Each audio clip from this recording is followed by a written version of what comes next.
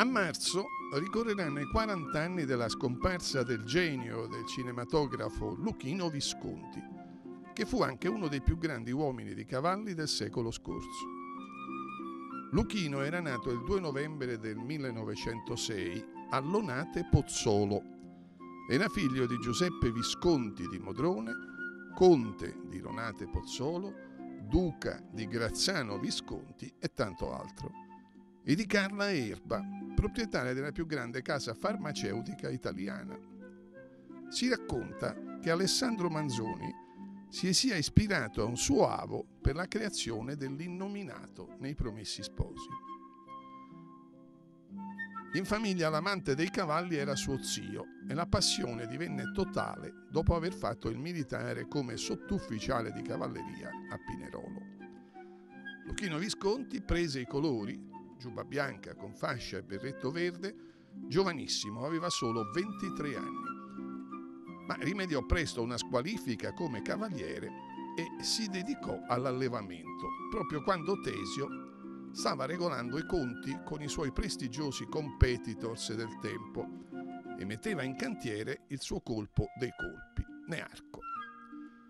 Questi era ancora solo un progetto nella mente di Tesio quando nel 1930 arrivarono i primi successi di Luchino, Giovio ed Arma Bianca, i suoi primi cavalli, ma Tesio era già al top con Cavalier d'Arpino. Per molti anni aveva vissuto con i cavalli, li aveva domati, aveva partecipato alla loro vita, alzava alle tre di mattina, li sgambava a San Siro, andava in giro con loro, dormiva con loro nei vagoni che li trasportavano in Francia o in Inghilterra, cioè, ha vissuto proprio aggrappato ai suoi cavalli per eh, pare tre o quattro anni della, della sua vita. Zeffirelli ricorda i suoi esordi ippici quando viaggiava in van assieme agli uomini di scuderia per non abbandonare neppure un istante i suoi protetti a quattro zampe.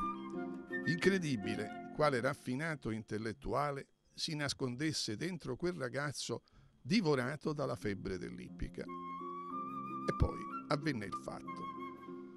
Visconti seppe che Tesio voleva sbarazzarsi di Sanzio, troppo sensibile per sopportare i suoi allenamenti. Si fece avanti e se lo portò via.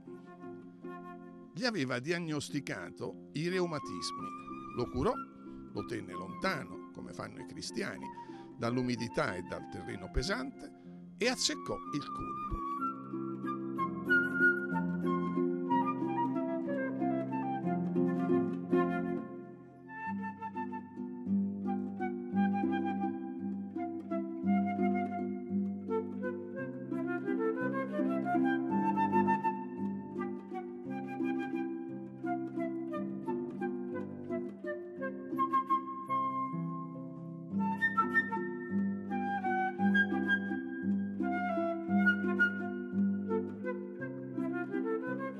Sanzio vinse da lontano il Milano del 32 e la faccia di Tesio, che pure si congratulò con chi glielo aveva soffiato, non era mai stata così dura.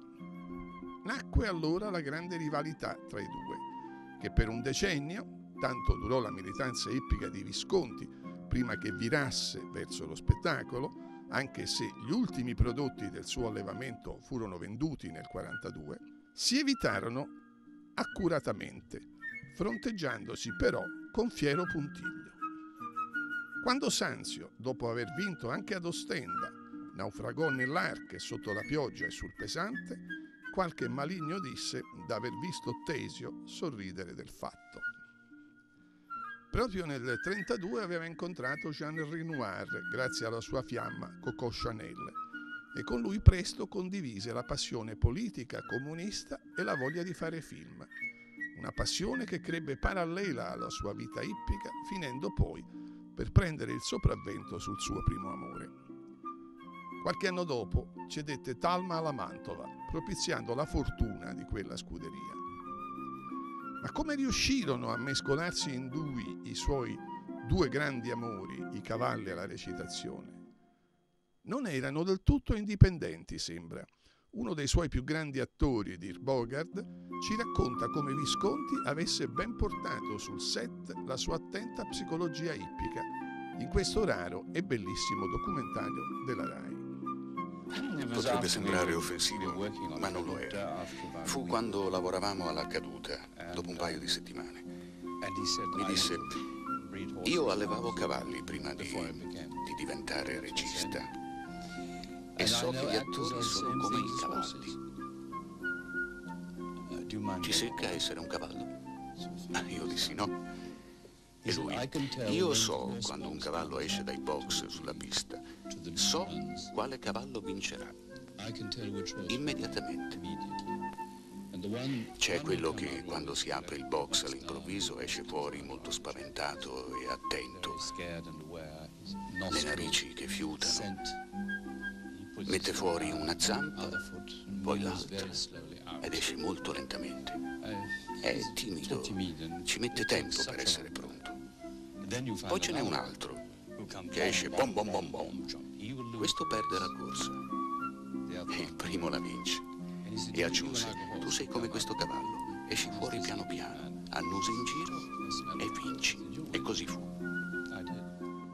Come dei suoi personaggi bruciati dalle proprie passioni, Luchino Visconti si spense a 70 anni, dopo una vita di cavalli, di amori di ogni genere e di film memorabili, che più dei suoi campioni lo hanno rappresentato nella storia del nostro paese.